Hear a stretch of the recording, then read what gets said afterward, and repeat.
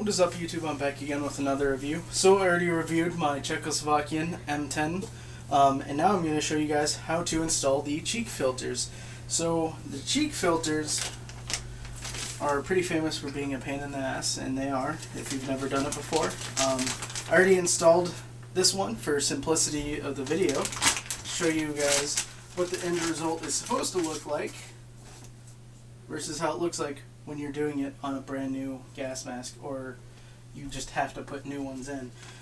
So basically on the inside of the gas mask you got your um, I guess your buttons and your loops that they that the rubber stretches around. And uh, basically it's gonna slip into that pocket. So we're gonna try and not rip out the, the rubber um, supposedly that's happened with these um, from what I've heard from other collectors I myself have accidentally ripped an M17A1 by doing that, but that's a different story. So you want to go ahead and remove the uh, rubber cover, which sings, you can see the, the glue, um, and they're kind of nasty, but oh well. And you just slide it in. I always thought that it was easier to do it on these than M17s. I don't know why.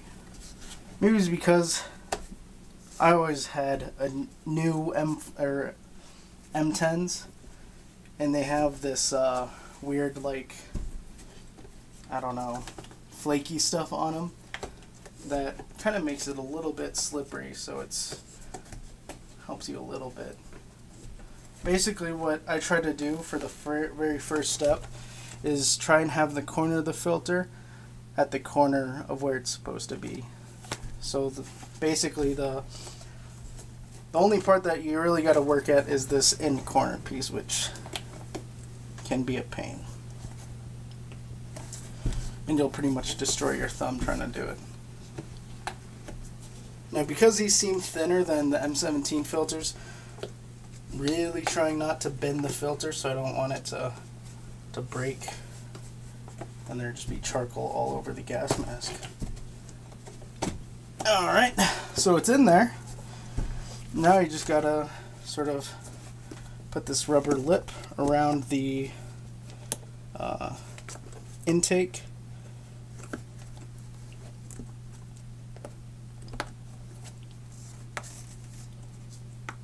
Some people really like this design that they that your filter intake screws into the filter. I don't like that In my opinion, it's worse with the American one. The rubber just stretches around there, and you, uh, with how far it stretches, basically means that it's airtight. And now, the fun part of putting these buttons on there like so. And it's been a long time since I've actually done this. But I'm surprised it's going as quick as it is. Got that one. Now I suppose I could have done these ones earlier to make the video even faster, but I didn't want to have to turn around and undo them anyways. So this tutorial could work for your M17s uh, and your Polish ones, um, but this is on how to install them for your Czechoslovakian M10 or M10M. So the filters are installed. Could just throw these pieces away if you really wanted to. Now I'm going to do a seal check to make sure that they're installed properly.